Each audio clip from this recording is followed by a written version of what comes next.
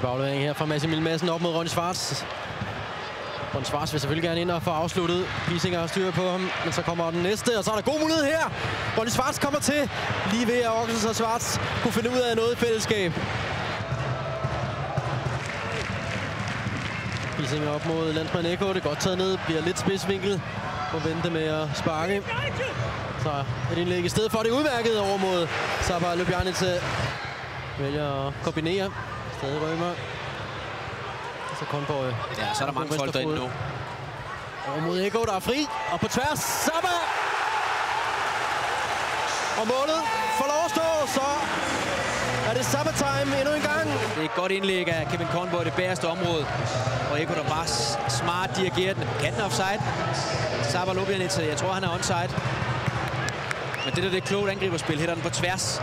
Og det er det, det, det altså, jeg er ret overbevist om, man ser Sabah, kan også se, at han lige har øjnene på ham, kigger.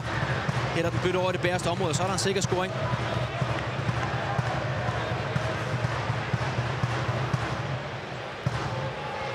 Sabah Lubjanice og Marvin Ego. Der er på færre igen. Lubjanice på tværs. Ego! Sikkert afbrænder!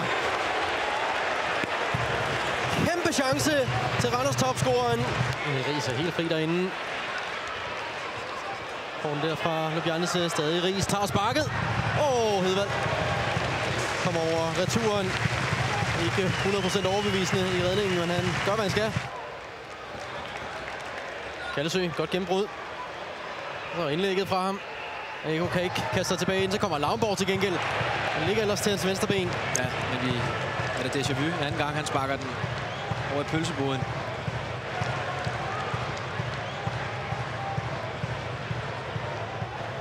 Og så skal der lov for, at de... Åh, øh... oh, det er meget, meget, meget, meget skidt af Jeppe Gersten, og den Ej. chance, at den lader han ikke passere. Saba Lubjanice dobbelt målscorer.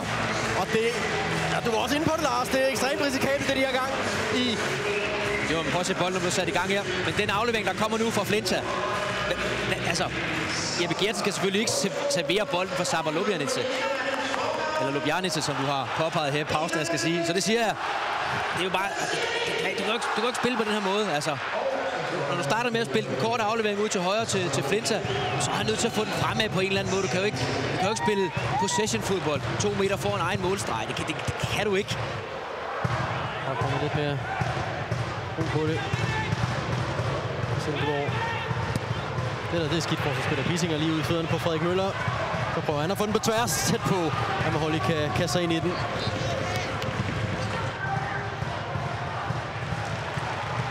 Ja, det er godt spil ind mod Eko. Alene ned mod Hedvald. Marvin Eko. Og den går over. Han har brændt to kæmpe chancer i den her kamp, Marvin Eko.